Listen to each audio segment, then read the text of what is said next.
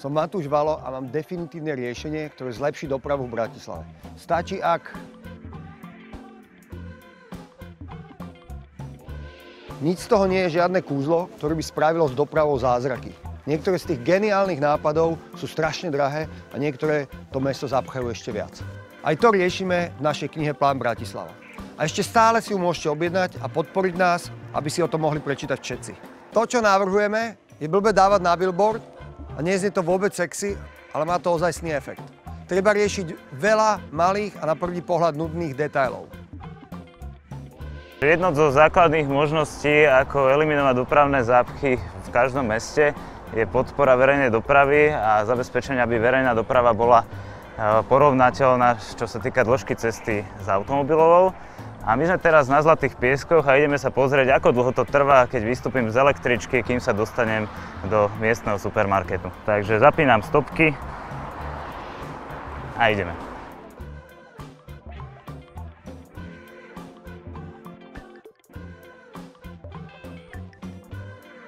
Tuto nám už aj priechod zmizne, takže už len prejdeme sem.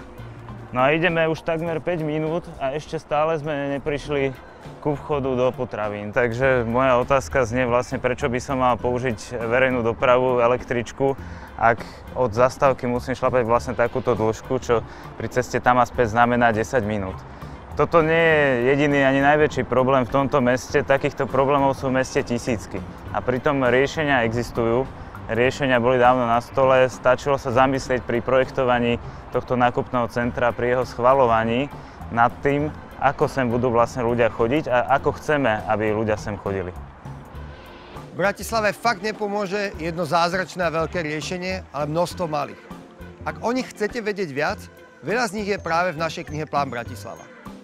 Píše ju celá skupina odborníkov a nájdete v nej návody pre lepšiu dopravu, životné prostredie alebo sociálne veci. Ak nám chcete pomôcť, aby sa tieto skutočné nápady dostali medzi ľudí a prebili sme všetky tie nezmyselné keci z billboardov, choďte na tento web a pomôžte nám knihu vydať.